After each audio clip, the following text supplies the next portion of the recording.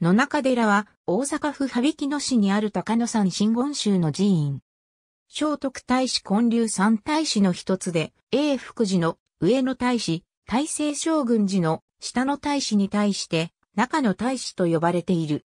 伝承では、聖徳太子建立48寺院の一つとされ、太子の命を受けた蘇我馬子が回帰とされる。が、発掘調査によると創建は白地元年頃のようである。境内に残る礎石から、飛鳥時代から奈良時代前半には大規模な伽藍が存在したことは明らかで、渡来系士族の船氏の氏寺として建てられたという説もある。創建時の道東は南北朝時代の野中寺合戦などの陛下を受けてすべて消失している。境内には注文石、近藤跡、東跡、行動跡、回廊跡など、法隆寺式伽藍配置を示す礎石をあり止めしており、野中寺旧伽藍跡として国の史跡に指定されている。中世までの遠隔はあまり明らかでない。一時期は廃寺に近い状況だったとみられるが、漢文元年に聖剣閣英和城と寺、忍恵毛利氏らによって再興される。享保年間に火災に遭い、地蔵堂以外を失うが、享保9年、大和国軍参藩主、柳沢義里により、食堂と客殿が寄進された。他の道具は、享保年間以後に再建されたものである。江戸時代には、立州の漢学院として、泉上大鳥寺、牧尾西明寺と共に、立院三大総合として栄えた。明治時代中期に、現在の宗派である高野山真言宗に転じている。当時の西にはかつて鎮守者であった、野々城八幡神社がある。近藤弥勒菩薩藩家像1918年に寺内の蔵から発見された像。毎月18日に開帳される。増高18.5センチメートル。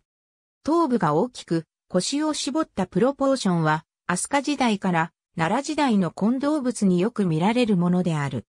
頭部には大ぶりの三面頭飾りをつけ、藻や台座などの各所には、タガネで文様を刻んだ入念な作である。左足を踏み下げ、右手を頬に当てて C の層を示すポーズは、この主犯化 C 像の通例であるが、右手の手のひらを正面に向ける点が珍しい。表情からは、飛鳥時代の仏像に見られた骨折の微笑が消えている。本像台座のかまち部分には、日の江虎年4月第98日、希望回帰茅寺知識の統合で中宮の天皇、大御未老座の時西岸の笹組六五像なりとも、等、人数118税六道四聖人等この今日、歌唱のなりという名文が1行2時31行に印刻され、本尊が日の江虎年の4月に、中宮の天皇が病気になった時、茅寺の知識らが平油を請願して立て祀った弥勒菩薩像であることがわかる。平虎年は、西暦666年にあたる。この種の繁華シー像は、造名不明のものが多いが、本像は、名文中に、弥勒と明記されており、制作年代の明らかな弥勒像の基準作として重要である。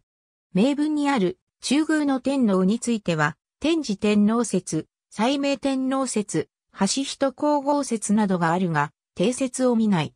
茅寺についても、どの寺院に該当するかは、定説がなく、柏の作りは100とは字型が違うという見解もある。日の江虎年の4月8日が水のにあたるのは、西暦666年であることから、名文にある日の江虎年を666年とすることは定説となっている。日の江虎年4月第9 8日、希望回帰の第9と回の意味については、1918年に発表された木崎愛吉の諸説が通説となっている。それによると、貝は歴用語の十二時化の一つの貝で回転、胸上げなどに良い日とされている。旧は、唐で新しく制定された、臨徳暦に対する旧暦の意に返し、この年の4月が新暦では、小の月、旧暦では、大の月にあたることから、第九と記したという。ただし、この旧字については、変が、三髄、作りが字で、至るとくんずる文字だとする新説もある。